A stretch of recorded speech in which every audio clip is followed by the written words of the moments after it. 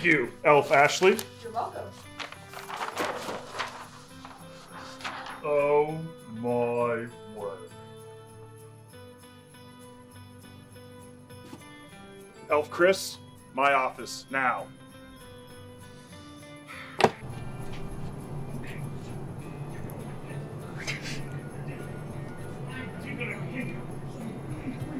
You know, I freeze someone's keys in a block of ice one time, and this is what I get.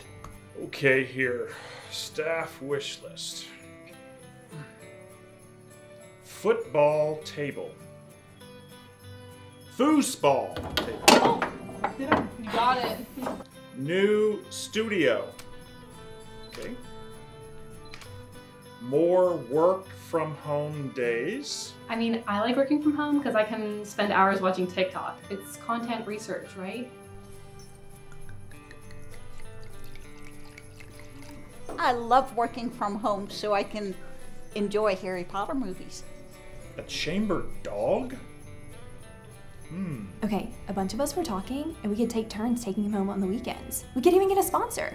We were thinking of naming him Wells, Fargo, or Chase. Think? Has some business cards. Think of it like a mascot for our events. Absolutely not. No dogs. Absolutely not. I'm allergic. Deathly allergic. You don't see me die? Chris claims to be allergic to his dog, but his wife literally told me he sleeps with the dog every night. Okay, so I'm totally okay with the work dog, but who's gonna clean up these messes? Because it's not gonna be me. How do you all expect to take care of a dog when we can't even feed the fish?